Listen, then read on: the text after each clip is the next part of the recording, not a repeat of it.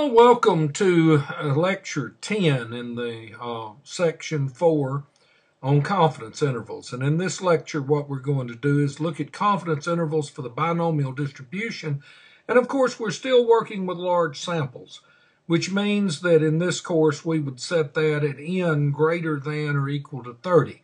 Now, again, I remind you that that's a little arbitrary. You may find differences as you go out and practice, but for now, that's what we will use the central limit theorem assures us that p hat is normally distributed about p with a standard deviation of p hat equal to the square root of p times q over n.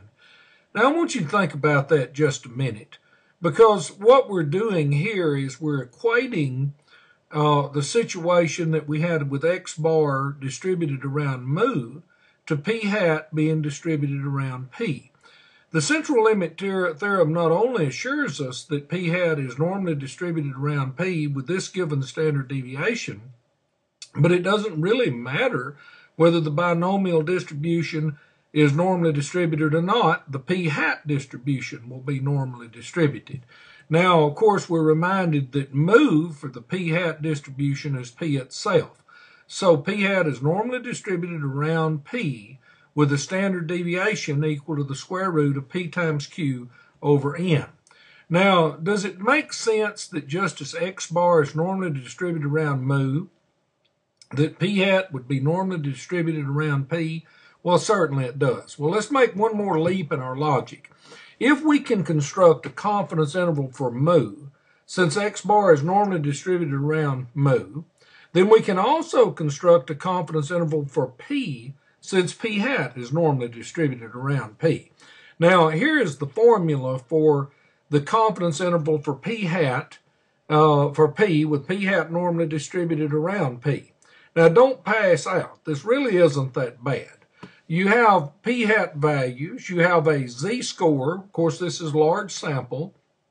And the z-score is determined by the level of confidence you want. And then you have the standard deviation, on both sides of the p hat distribution, which is the square root of p times q over n.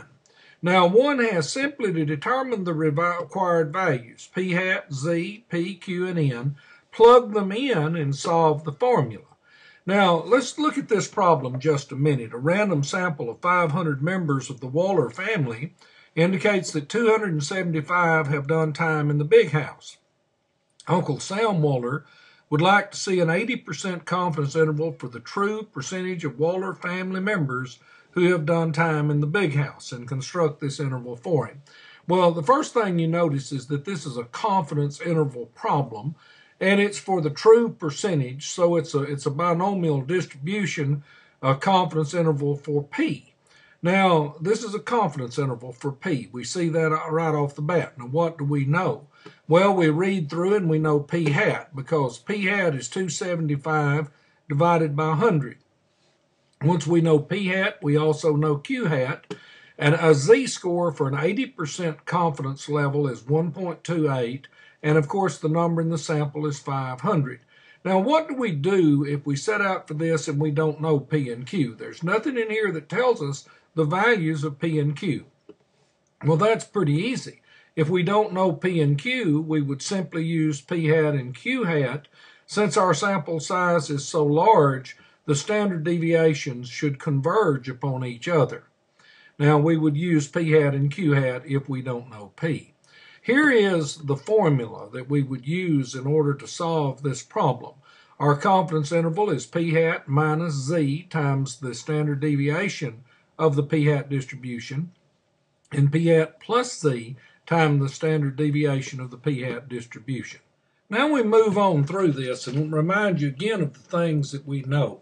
We know the value of p-hat, which is 0.55, and from that we can calculate q-hat, which is 1 minus p-hat, or 0.45. Our z-score for 80% confidence is 1.28. We obtain that from the table. And n for this problem is 500, since we have 500 which have been randomly sampled. Now, since we don't know p and q, we will plug in p hat and q hat values. So we have p hat minus our z-score times the square root of p hat q hat over n. And here we have p hat plus our z-score times the square root of p hat q hat over n. Now keep in mind that this is simply a, a p hat value plus, plus or minus a z-score value times the standard deviation of the distribution. We would work through, the first thing you need to do is solve this animal. 1.28 times the square root of 0.55 times 0.45 over 500. You would multiply 0.55 times 0.45. Then you would divide that amount by 500. Then you would take a square root and multiply it by 1.28. And that gives us 0.55 minus 0.0285 and 0.55 plus 0.0285.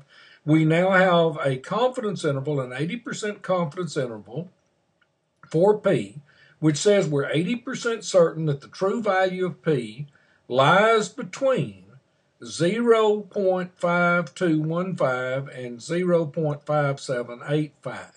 We're 80% confident that between 52.15% and 57.85% of the Waller family have done time in the big house. Now Uncle Sam knows all. Old Uncle Sam Waller is pleased. We've done well. Well, I see that you've made your way back to the doghouse. Old Waller's uh, office in here where he's sitting around enjoying life. Just want to remind you that the central limit theorem assures us that x bar is normally distributed around mu and assures us that p hat is normally distributed around p. And it doesn't matter whether the original distributions are normally distributed or not, x bar is normally distributed around mu, p hat is normally distributed around p. Now you know all.